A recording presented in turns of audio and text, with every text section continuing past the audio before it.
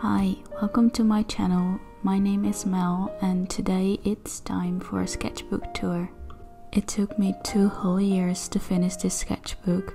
I started it September 2020 and I finished it September 2022.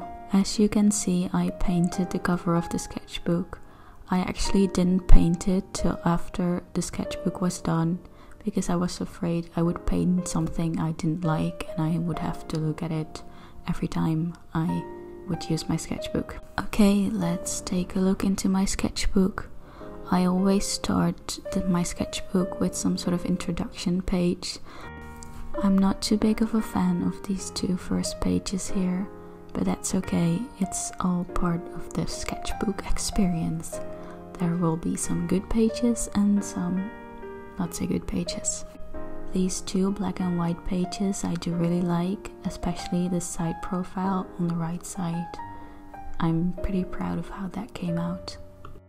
I mostly use pencils, fine liners or ballpoint pens to sketch with. And the fun thing about a toned sketchbook like this one is, is that you can use a white pencil or white gel pen to add highlights, which is a thing I always like to do. This page is done with a purple pen that I've had for about 10 years now, I think. These ballpoint pen sketches on the right I'm really quite proud of. I think they look nice.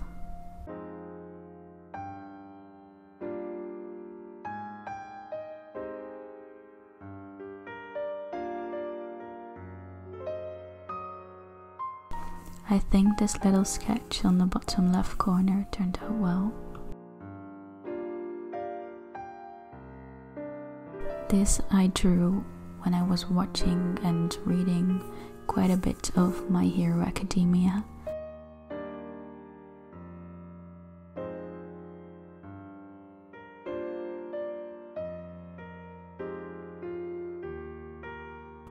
These are some silly little doodles of my dog in Halloween costumes. He's a wizard and a pirate. His name is actually Hook, so that last one is especially fitting. Some more anime sketches, this time from Little Witch Academia. I guess I like animes about schools. My neighbor Totoro, which is always adorable. The little candle is a live drawing I did while sitting on my bed. Yeah, so this page was not my brightest moment because I accidentally drew the portrait upside down but I think it looks kind of cool and intentional. Happy little accidents. Oh boy, this page on the left is rough. It's not good, but I do like the page on the right. Here we have a Winnie the Pooh on the left and some pretty intense emotional sketches on the right. Perfect. Some anime sketches and just look at this adorable little kitty of ballpoint pen and fineliner sketches I did straight in pen or fineliner without any pencil underneath. I think it's a great exercise and I started doing that a lot more after these pages.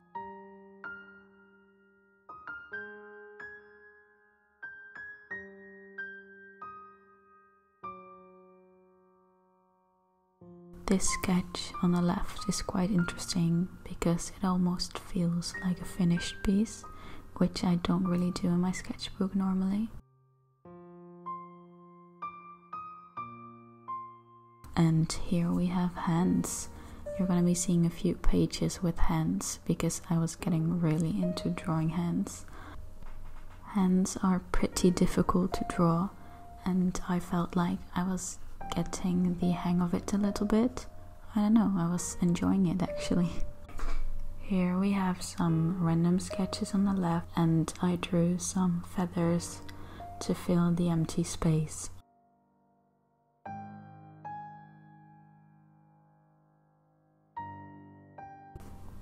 And here we have a page of crying eyes I drew when I was sad. I do quite like them.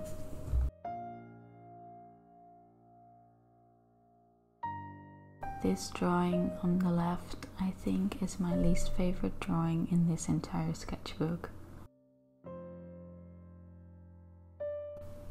Around here is when I started to take requests from people on TikTok. They would give me suggestions of what to draw and it really helped me fill my sketchbook a lot quicker.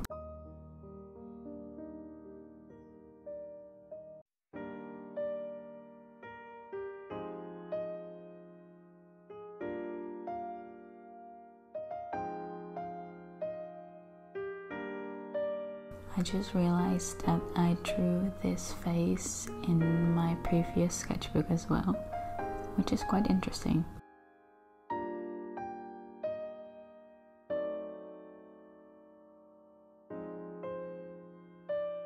These dinosaurs were a request from TikTok as well. They definitely were a challenge as I hadn't drawn anything like this before, but I had a lot of fun with it.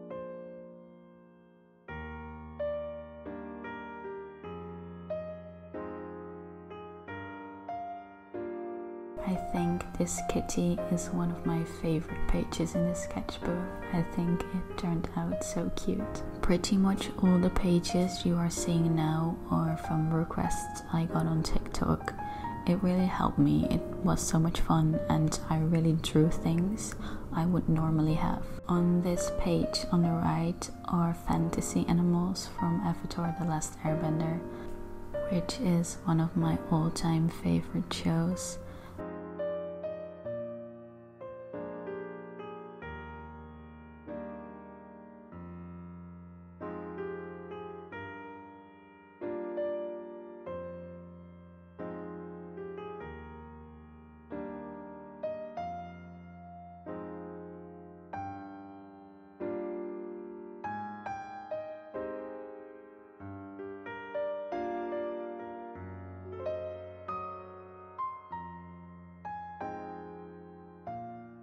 These skulls were interesting. I really didn't like the first one, but the other ones went pretty well, and I do like how those turned out.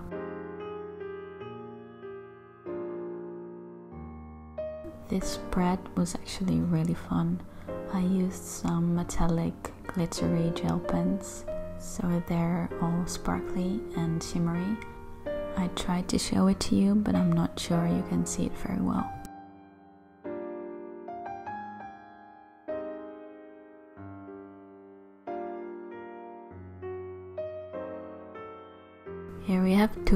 From How to Train Your Dragon. I got a request to draw a dragon, and I just love How to Train Your Dragon.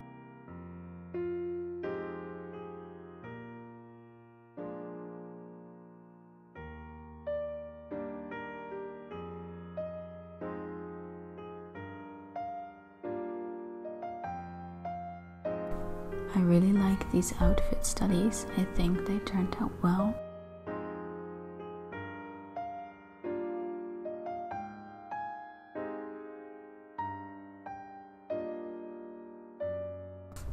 This page has some metallic gel pen as well, which I think is just such a fun touch.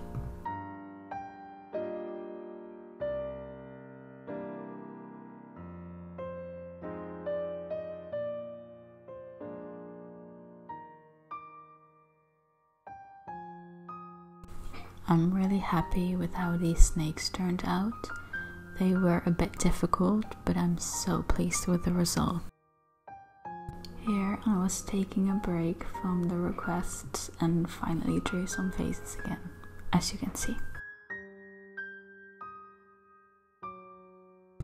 Some little burps. They're not the best, but I do think this little one on the right is quite cute.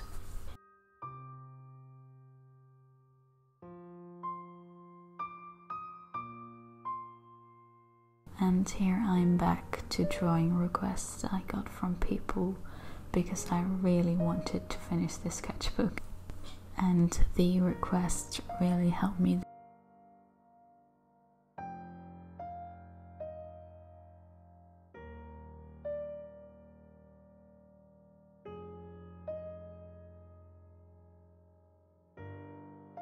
Look at these cute little derpy goats, aren't they adorable?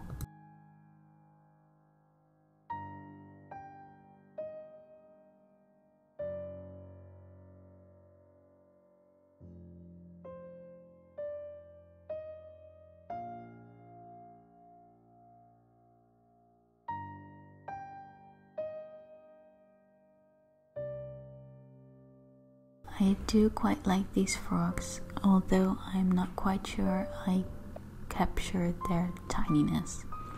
I was having difficulty with that for some reason. This spread of grayscale fruits and pastel foods was so much fun and I think it looks quite nice.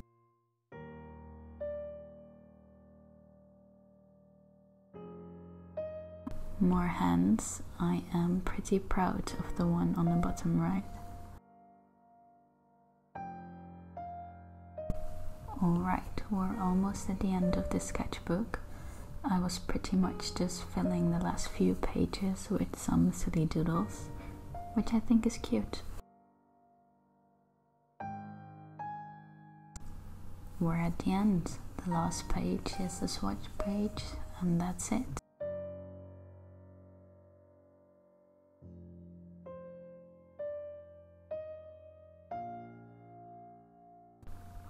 I put some stickers on the back and that was it for my sketchbook tour.